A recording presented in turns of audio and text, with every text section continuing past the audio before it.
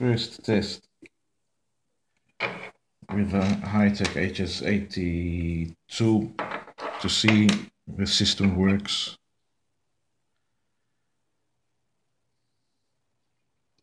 Other way around.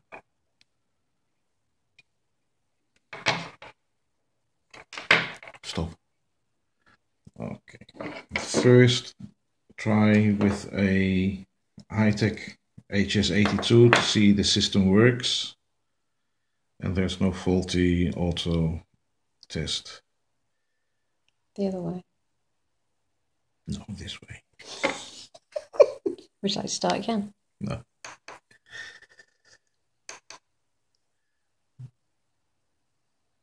The servo moves without any jitter, normal as it should be.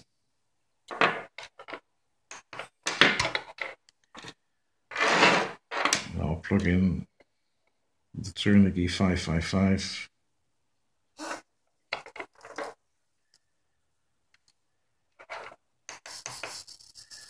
And it jitters all the way around.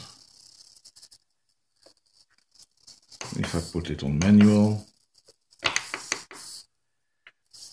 you can see the jitter, it will not hold center. And all four servos are exactly like this.